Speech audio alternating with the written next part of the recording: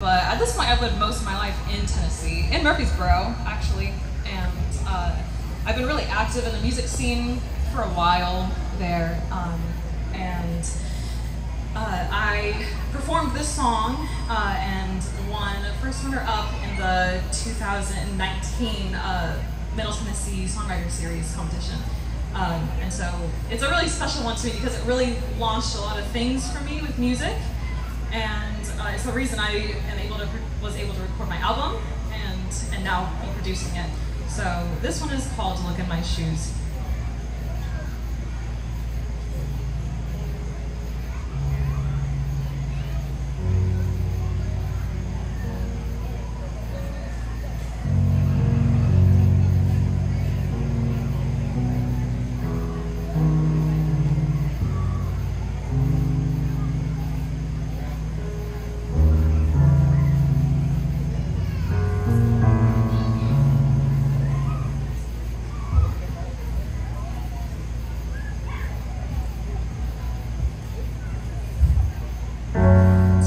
Mistake what you have for the things I want.